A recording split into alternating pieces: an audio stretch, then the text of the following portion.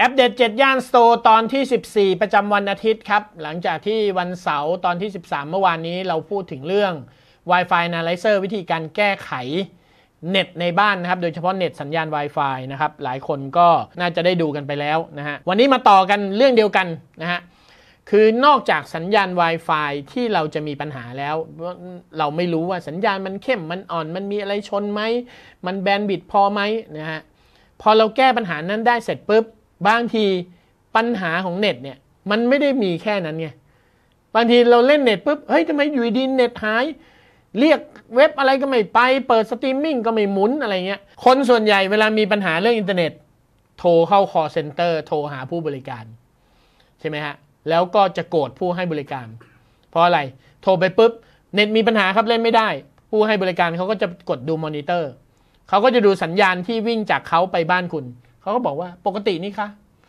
ถึงตรงนี้ปุ๊บหงุดหงิดทุกคน เพราะบางทีเราเองก็ไม่รู้ครับ ว่าเน็ตที่มันไม่วิ่งเนี่ย มันไม่วิ่งอยู่ในบ้านเรา หรือมันไม่วิ่งออกไปหาผู้ให้บริการ ถ้าผู้ให้บริการตอบว่าก็ปกตินี่คะ แสดงว่าสัญญาณจากเขามาเราเนี่ยไม่มีอะไร ปกติ ให้สงสัยไว้ก่อนว่าเฮ้ยหรือมันไม่วิ่ง เพราะว่ามันอยู่ในบ้านเรา มันออกจากบ้านเราไม่ได้ มันวนอยู่ในนี้แหละ ให้สงสัยเรื่องนี้ไว้ก่อน แล้วเราจะรู้เรื่องนี้ได้ยังไง มีแอปตัวหนึ่งมาแนะนำครับวันนี้ แอปตัวนี้ชื่อว่า PingPlotter คำว่า ping ในสัญญาณอินเทอร์เน็ตเนี่ยคือการทดสอบสัญญาณครับ การ ping คือการลองยิงสัญญาณสั้น ๆ ไป pingไปปลายทางนะเรากำหนดปลายทางขึ้นมาสมมุติเป็น google.com หรือ facebook.com หรืออะไรก็ได้เว็บอะไรก็ได้ แล้วยิงไปปิงมันก็จะป่องกลับมาใช่ไหมฮะ อันนี้เขาเรียกว่าปิง มันเหมือนปิงปองเลย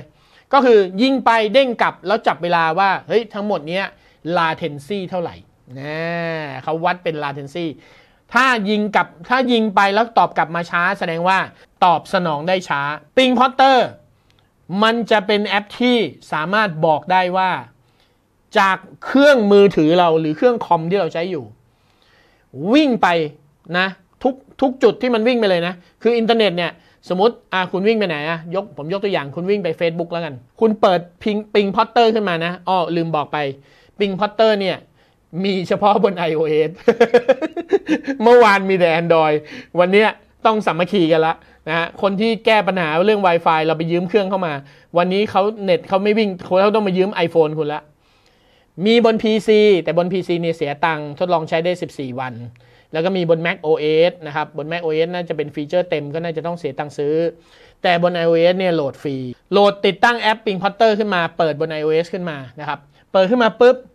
เขาจะถามคุณว่าคุณจะปิงไปไหน ก็ยกตัวอย่างขึ้นในสักแห่งหนึ่งไม่ไม่สำคัญหรอก Facebook ก็ได้อะ Facebook ก็ส่วนใหญ่ก็จะวิ่งไปสิงคโปร์ก่อน Google ก็ส่วนใหญ่ฐานอยู่สิงคโปร์นะฮะก็พิมพ์ไปเลย Google ก็ได้ Facebook ก็ได้พอกดปิงเสร็จปุ๊บคุณจะเห็นว่าเฮ้ยมันมีแบบ เป็นหัวข้อ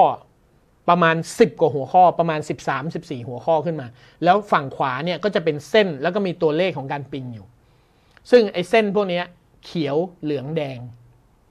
เขียวคือตัวเลข latency น้อยมาก เหลืองก็คือเริ่มอืด แดงคือมีปัญหา เราจะสามารถเห็นได้เลย ซึ่งแต่ละอันเนี่ย13 14 ข้อเนี่ยมีอะไรบ้าง เดี๋ยวผมสอน อันดับแรกนะ จากตัวคุณนะมันจะวิ่งอุปกรณ์คุณเนี่ย มันจะต้องวิ่งไปที่เราเตอร์ก่อนเราเตอร์ก็คือส่วนใหญ่นะ มันจะเป็น 192.168.1.1 ถ้าบ้านคุณมีเราเตอร์หลายตัวบางตัวอาจจะเป็นเบอร์อื่นก็ว่ากันไป แต่ตัวแรกที่มันวิ่งไปเนี่ยมันจะวิ่งไปที่เราเตอร์ก่อนที่คุณ connect อยู่ ถ้าตรงนี้ค่า ping มหาศาลแล้วเป็นสีแดง นี่แหละครับ เน็ตที่ไม่วิ่งอะมันไม่วิ่งจากเราเตอร์คุณ คุณโทรไปศูนย์บริการศูนย์บริการบอกปกติค่ะ แล้วคุณก็โกรธเขาเขาพูดความจริงนะเขาไม่ได้เขาไม่ได้เล่นลิ้นกับคุณ คือเน็ตจากผู้ให้บริการมาถึงมาถึงเราเตอร์บ้านคุณเนี่ยมันปกติ แต่จากเครื่องคุณเนี่ยมันส่งไปไปเราเตอร์ไม่ได้ จะด้วยปัญหาอะไรก็แล้วแต่ Wi-Fi สัญญาณไม่ถึงโดนปันโดนข้างบ้านชนอะไรเงี้ยก็ต้องไป Wi-Fi Analyzer ดูอีกทีหนึ่งหรือมีปัญหาอื่นๆ ก็ต้องไปแตกแยกย่อยกันอีกทีหนึ่ง แต่คุณจะรู้ได้เลยว่า จากเครื่องคุณไปเราเตอร์มีปัญหา ที่เหลือมันจะวิ่งปกติหมด ใช่ไหมฮะ จากเราเตอร์แล้วไปไหน ไป node ผู้ให้บริการเขาจะมี node node ส่วนใหญ่อธิบายไงดี node ก็คือจากบ้านคุณอะออกจากบ้านคุณวิ่งเข้าเสาไฟฟ้า มันวิ่งไปเครื่องชุมสายไหนอันแรกนะส่วนใหญ่เราก็จะมีชุมสายอยู่ในระยะ 2 กิโลเมตร แถวบ้านเรา อันนั้นคือ node ที่ 1 node ที่ 1 ก็ไป node ที่ 2 node เล็ก node ใหญ่ต่อกันไปชุมสายกลาง คุณจะเห็นว่าตั้งแต่อันดับที่ 12 ไปจนถึงอันดับที่ 10 กว่าๆเลย 11 12 เลย ยังอยู่ในผู้ให้บริการอยู่เลยครับ สารพัด node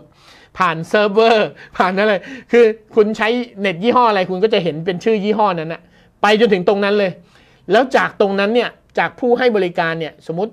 ยกตัวอย่างสักยี่ห้อหนึ่ง สมมติเป็น AIS อะไรเงี้ย AIS Net Fiber อะไรเงี้ย AIS Fiber จากเบอร์ 12 เนี่ย มันจะกระโดดปุ๊บไปออกอินเตอร์ละออกอินเตอร์ gateway จาก 12 ไป 13 เนี่ย สมมติแต่ละคนไม่เท่ากันนะ 12 ไป 13 ไป facebook.com เลย นั่นอะ อันนั้นอะคือพ้นจากประเทศไทยไปเมืองนอก ซึ่ง facebook.com node แรกก็คือสิงคโปร์ ถ้าตรงนั้นช้าผมเคยใช้แอปตัวนี้เอาไว้ดูว่า เวลาผมทำ live live stream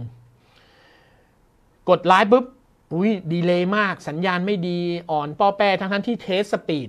speed เน็ตกับการทำงานบนเน็ต แล้วได้ความราบลื่นคนละเรื่องกัน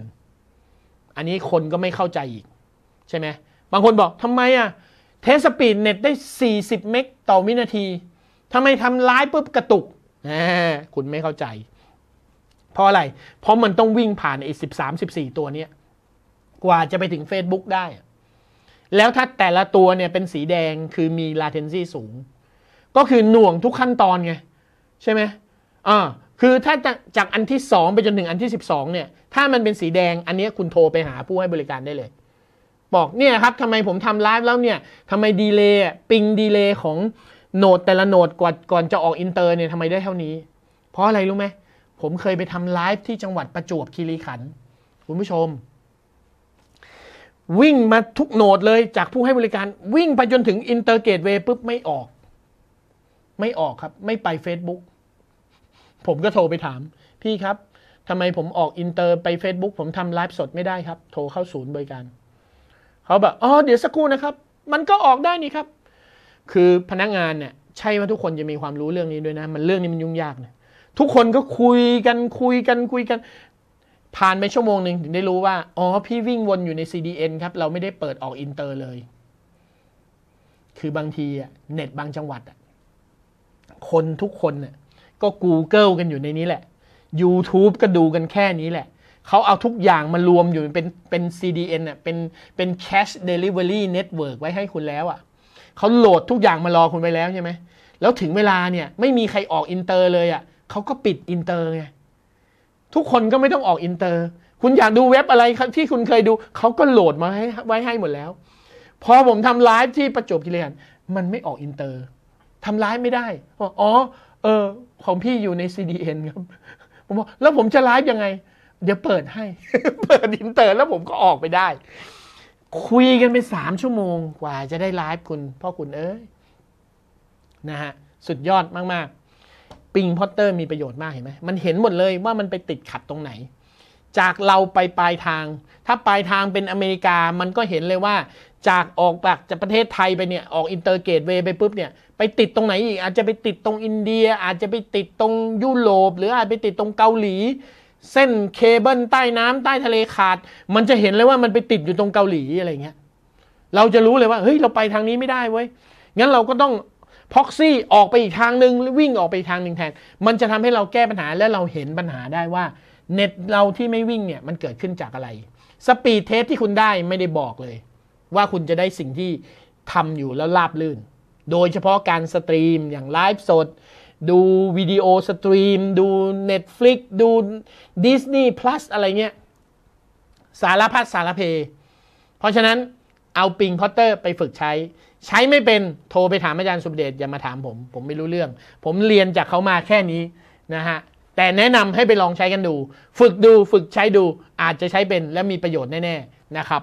ก่อนที่จะโทรไปหา call center ดูก่อนว่าเน็ตเนี่ยมันไม่วิ่งในบ้านคุณหรือข้างนอก